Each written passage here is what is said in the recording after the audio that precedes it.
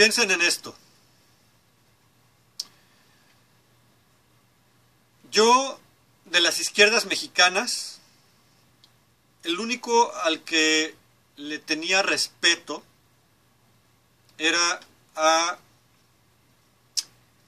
Fernández Noroña. Al señor Gerardo Fernández Noroña. Creo que ese es su nombre, ¿verdad, Gerardo? Vamos a ver. Sí, Gerardo Fernández Noroña. De hecho, ya lo he comentado, ahí en mis redes sociales está la foto. Cuando yo viajé a México en el año 2012, me lo encontré por casualidad. Un amigo mío, muy querido, me invitó a comer a la colonia Condesa en la Ciudad de México. Hay muchos restaurantes de moda ahí, es, es como la colonia de moda. Y de hecho no me acuerdo si fue en la Condesa o en la Roma, en los límites entre la Condesa y la Roma, pero bueno.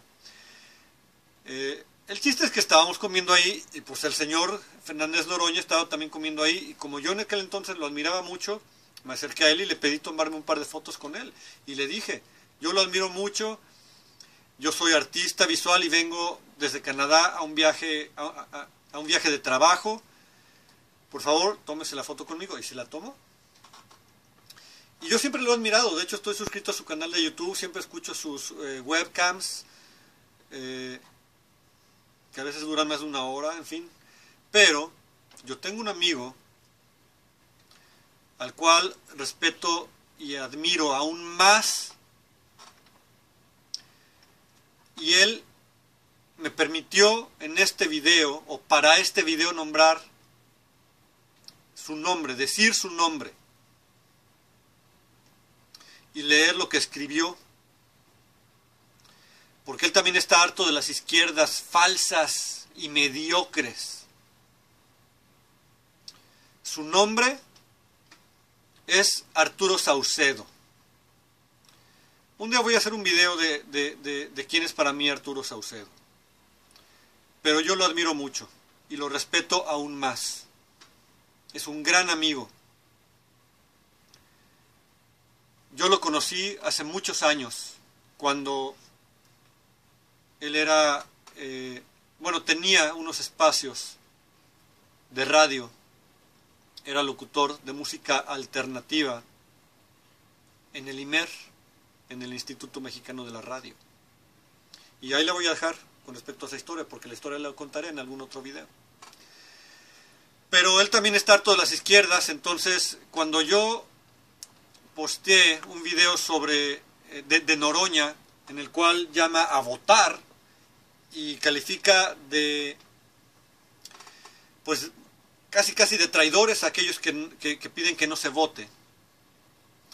Pues mucha gente empezó a comentar, incluso, incluyendo aquellos amigos míos que son aquellos ciegos y recalcitrantes eh, izquierdistas que siguen besándole los pies a Morena y al peje.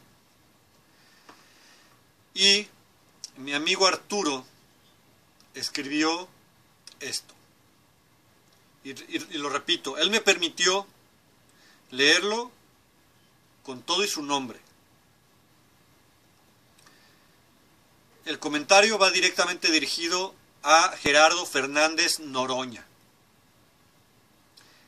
Este dinosaurio, practicante de la corrupción y de las prácticas autoritarias, que él tanto denuncia. Lo conozco muy bien y sé y se lo sostengo en su cara. Vino a Rusia cuando era diputado, integrante de la Comisión de Cultura. Yo era el curador del festival, no dice qué festival, pero obviamente es un festival de arte y cultura.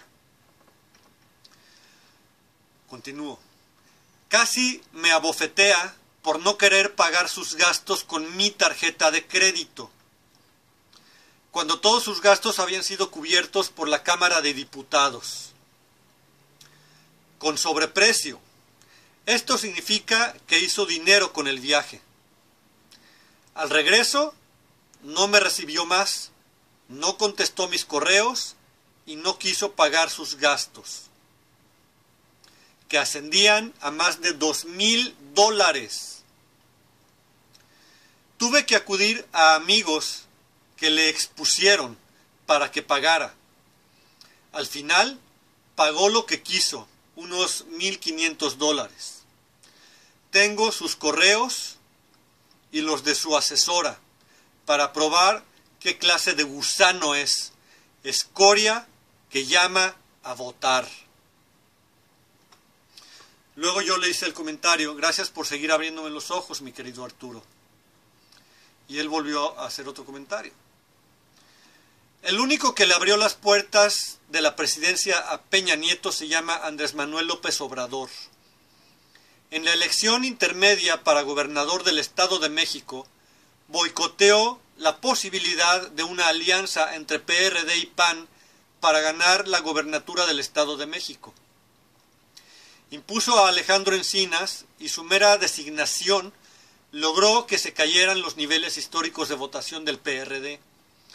Erubiel ganó fácilmente las elecciones y con esto se operaron las maniobras financieras que llevaron a Peña Nieto al poder.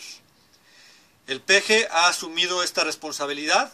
No, ni él ni esta marioneta que se llama Noroña asumen las responsabilidades que se corresponden en el papel que ha jugado en favor de la elite que gobierna el país. Ahí está. Señor Fernández Noroña, es usted una vergüenza. Y yo ya lo sabía. Desgraciadamente soy un soñador. Desgraciadamente soy un idealista. Y por ser Piscis, mi signo zodiacal, pues así soy. Muy confiado, muy ingenuo, muy naive. Yo lo admiré mucho, como en su tiempo también admiré a López Obrador, cuando era también tan ciego como eso. Y antes del Internet confié en el subcomandante Marcos, y en el PRD, y en Cuauhtémoc Cárdenas, y en Eberto Castillo, y bla, bla, bla. No más. Yo simplemente no confío en una sola persona que esté metido en la política mexicana. Yo confío ciegamente en mi amigo Arturo Saucedo. Como dije, lo admiro mucho, tengo mis razones que voy a mencionar después para reforzar este video. Y señor Noroña, pues es usted un asco. Hipócrita. También ahí nada más anda buscando las mordidas del poder, como todo izquierdista nada más recogiendo las migajas, porque no tienen otra cosa más que migajas. Ustedes quisieran estar ahí arriba, como los grandes eh, magnates de la cúpula soviética en su tiempo. Pues no, no lo van a lograr. Es una pena, señor Gerardo Fernández Noroña, yo lo seguía mucho. Y voy a seguir escuchando sus webcams a ver ahora con qué chingadera sale pero también le voy a tener el ojo bien echado. Y aquí mi amigo Arturo Saucedo ya lo dijo, ¿eh? Y se lo dice en la cara. Así que si usted tiene una manera de defenderse de esto para callarme a mí también, hágalo, atrévase a hacerlo, muestre pruebas. Ahí están las pruebas de Arturo. Yo me baso en él para ello. Y recuérdeme, recuérdeme, porque Desgraciadamente todavía no sé cómo editar y poner fotos fijas en pantalla aquí en YouTube, pero voy a dejar el link de la foto que tengo en Facebook en donde estoy con usted. Así que, izquierdistas, piénsenlo, porque los tienen totalmente apendejados, con toloache izquierdoso. Es un asco. ¿Quieren que cambie el país? Destruyan a las izquierdas, así como también quieren destruir a las derechas y al centro. Todo se tiene que ir a la chingada, al punto de las cenizas para que salga el fénix nuevamente. La mujer dormida debe dar a luz. Piensen en ello, en verdad, a mucha conciencia piensen en ello.